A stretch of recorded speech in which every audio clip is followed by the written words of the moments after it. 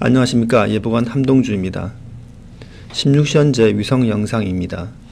현재 동해상에 위치한 고기압의 영향을 받아 전국이 맑은 날씨를 보여주고 있지만 만주지방으로 지나는 저기압과 관련된 하층운이 북한과 만주지방으로 나타나고 있습니다.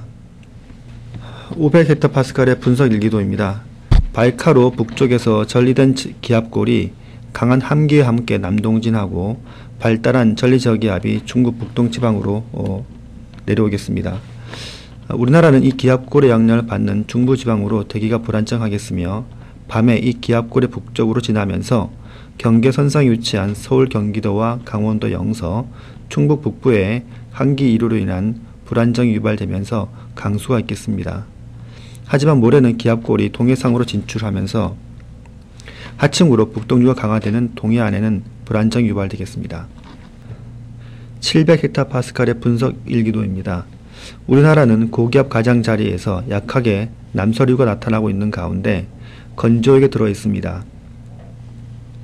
내일 오전부터는 완만하게 기압골에 들면서 남서류가 점차 약화되겠고 오후부터는 북쪽으로부터 차고 어, 건조한 북소리가 유입되면서 강한 바람과 함께 한기가 유입되어 대기 불안정을 유발하겠습니다.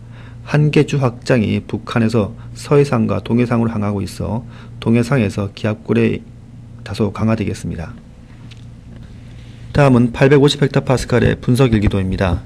현재 동서 고압대인 남고 북제형의 기압 배치 아래 한기골에 놓여 대기가 안정되어 있으며 중국 중북부에서 북한 지방을 지나는 기압골 전면으로 난역이 강하게 유입되면서 주로 한만 북 국경으로 구름대를 형성시키고 있습니다.